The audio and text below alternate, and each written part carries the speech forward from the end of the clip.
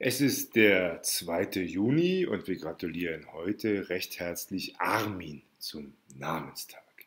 Ja, der Armin, woher kommt der Name? Da gibt es ein paar Theorien, entweder aus dem Lateinischen von Armin, aus Armenien stammend, oder eben auch aus dem Germanischen Ermin, Irmin für groß und gewaltig, also der Große. Ähm, Armin ist aktuell 51 Jahre alt, das sagt die, unsere App Namechecker, die wir hier mal hinterlegt haben.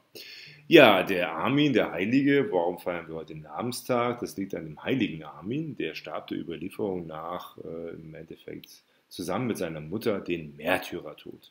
Man weiß, dass er für Christus starb. Zeit und Ort des Martyriums sind aber nicht bekannt und er wurde auch schon früh in Ägypten und Abyssinien verehrt für seinen Glauben. Ja, von daher der Armin.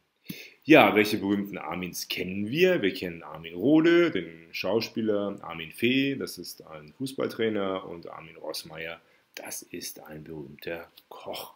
Ja, weitere Informationen zu Namen, Namenstag, Namensbedeutung, Herleitung, Altersschätzung und so weiter. Unsere App Namechecker, die man im App Store und bei Google Play herunterladen lassen, heruntergeladen kann. Und weitere Informationen zu Namenstagen, unsere App auf unserer Webseite www.marancon.de und da unter Namenstage. Herzlichen Glückwunsch an alle Armins.